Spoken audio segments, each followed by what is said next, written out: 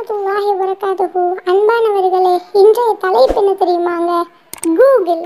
என்ன தலைப்பு வித்தியாசமாகவும் ஆச்சரியமானதாக இருக்குன்னு பார்க்குறீங்களா?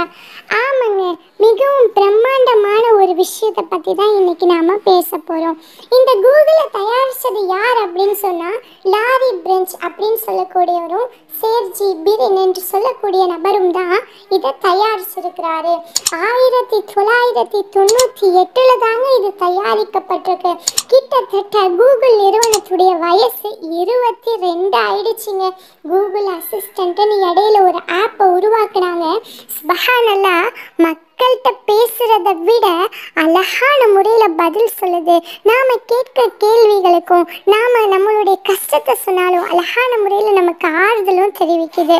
இதை எப்போ உருவாக்குனாங்கன்னு சொன்னால் ரெண்டாயிரத்தி பதினாறு மே மாதம் பதினெட்டாம் தேதி தான் இதை வந்து தயாரிச்சிருக்கிறாங்க. இணையதளம் கூகுள் நிறுவனம் கூகுள் அசிஸ்டன்ட் என்று சொல்லக்கூடிய ஒரு ஆப்பையும் அறிமுகப்படுத்தி இப்படி ஏராளமான நல்ல விஷயங்களும் நாம் கேட்கும் கேள்விகளுக்கு உடனடியான பதிலும் அளிக்குதுங்க. ஒரு வார்த்தையை நாமே தப்பாக சொன்னாலும் கூட அதை சரியான முறையில் நமக்கு திருத்தியும் தருதுங்க. நாம் கேட்குற கேள்விக்கெல்லாம் உடனடி உடனடியாக பதில் சொல்லுதுங்க.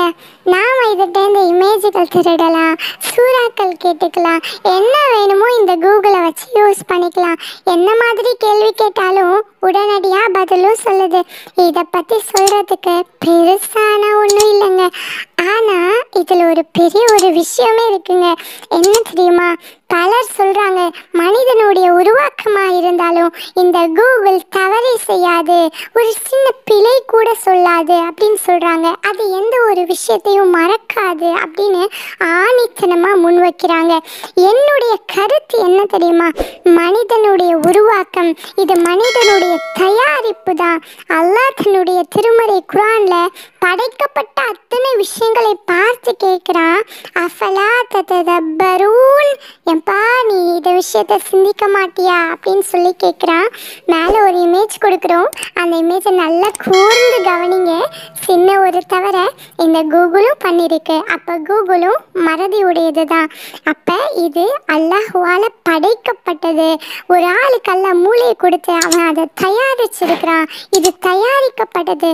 படைத்தவனை நினைத்து பார் படைப்பினங்களை அறிந்து கொள். அஸ்லாம் அலை